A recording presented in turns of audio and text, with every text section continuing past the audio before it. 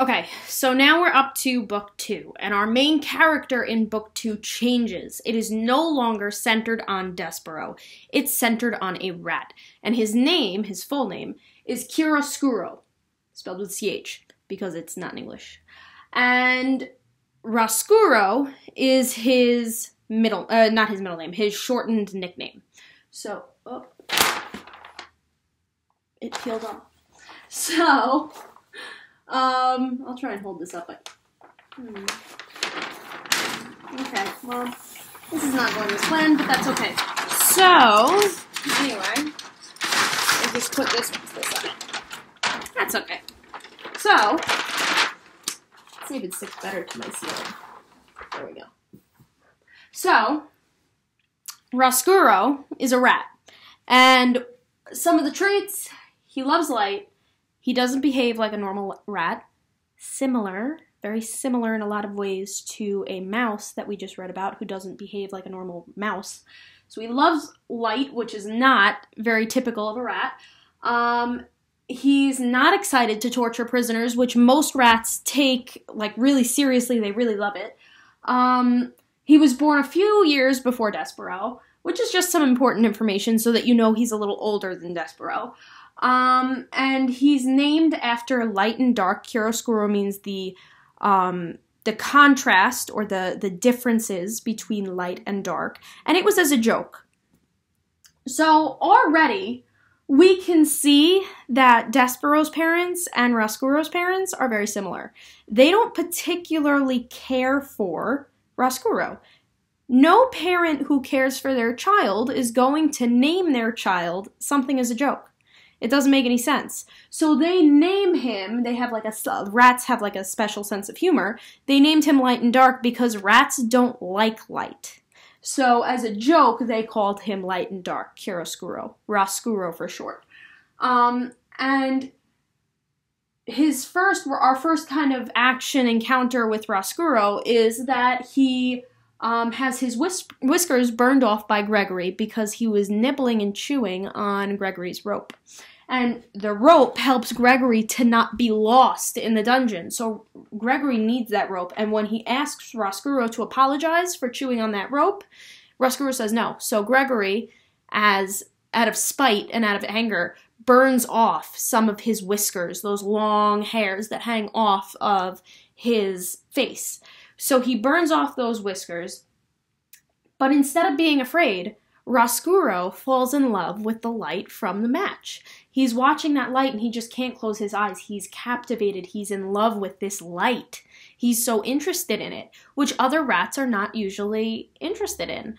So he kind of fell in love with the match that that burning that bright um, but is it told he's told by other rats particularly his mentor that light is not the meaning of life so Roscuro is so in love with this light that he thinks that it's the center of the universe but other rats inform him absolutely not it's not the center of the universe it's actually suffering that's the center of the universe because rats love to torture prisoners and you're a rat.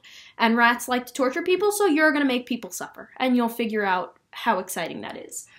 Um, and to be very honest, is not that interested in torturing people, but he does it because he's told to.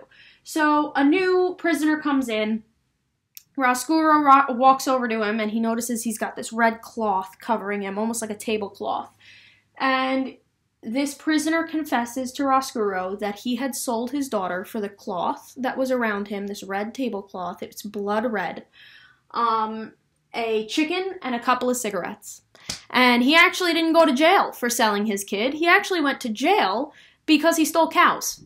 So his real crime, selling his own daughter, wasn't punished. It was a crime of, of stealing a cow that was punished. So Roscuro, in order to torture this guy, takes his cloth, rips the tablecloth from his hands, and runs through the bars of the jail, and the guy can't get his cloth back, and he starts to cry. And Roscuro brings it back to his nest, and he's not really impressed. He doesn't want the cloth; he wants the light.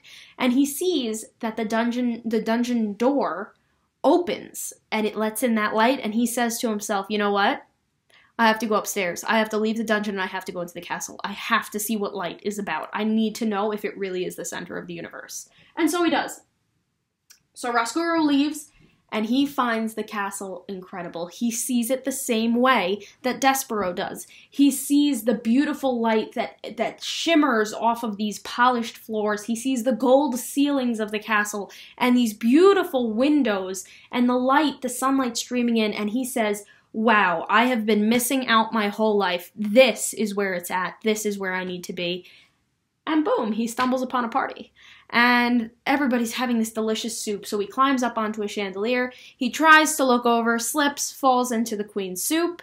He pops up out, says, The soup is delicious, queen, which he's not supposed to do. You're not supposed to speak to a human. It's a little different for rats, though, because we notice that they torture humans and speak to them that way. So in the mouse world, you're not supposed to talk to humans, but in the rat world, it seems to be okay. So he says to the queen, Thank you for having me. Thanks for the soup. And the queen is so shocked that there's a this this disgusting rat in her soup that she faints. and actually, instead of fainting, actually has a heart attack and dies right there. She's just disgusted. Excuse me, my throat is a little dry. Just disgusted from by this rat. It's just disgusting to her, and she faints. Uh, faints and actually she has a heart attack. Really, it's it's not really said, but we can assume has a heart attack and dies. Um, and P, as as this rat is running, running for his life out of this ballroom where the party was, and they're trying to help the queen, but they can't. He looks back to see Princess Pea, who is looking at him with this hate in her eyes for for ruining this party and killing her mother.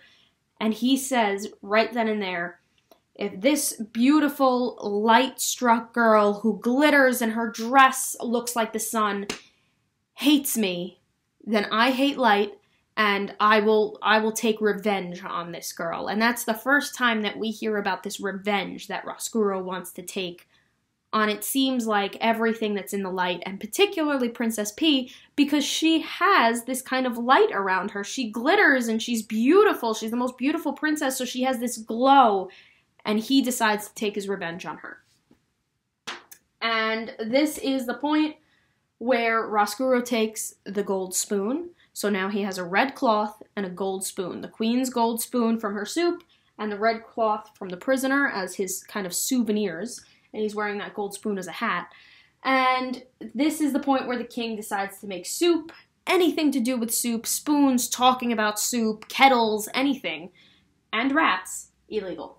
And he does this not because he's crazy, but because he's so sad that his wife, who he loved more than anything else, passes away, that the only thing that he can think to do is outlaw the things that he feels killed her, which are which is a rat and the soup that reminds him of her.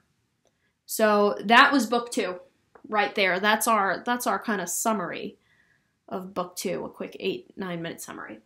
And uh I want you guys to really take notice of the two things that Roscuro has right now. He has a red cloth that he's keeping, and he has a gold spoon as a hat. And these things will come into play in the next chapter. And you know what else is going to come into play? This prisoner. Important guy. Why? Because who was sold for a red hen, uh, for a red cloth, a hen, and a couple of cigarettes. Who else but Miggery Sow by her father? So we have just made the discovery, and you wouldn't have known this by book two, but by book three, you make this discovery that this prisoner who has a hen, a couple of cigarettes, and a um, red tablecloth and who sold his daughter must be Miggery Sow's or Miggery Sow's, I'm not sure how to pronounce it, father. Must be Miggery Sow's father. Because he has those things and sold his daughter, and Miggery Sow was sold by her father for those things. So we now know that the prisoner that Roscuro is torturing is actually Miggery's father, is the, the man who sold his daughter to a man who beats her every day. So kind of deserved. But that is the overview of book two. Remember, Miggery is not in this book yet. This is just the, the note that this prisoner, we're going to learn in the next chapter, is in fact Midori's father. All right? So that's that. That's the entirety of book two. And I will see you guys for book three.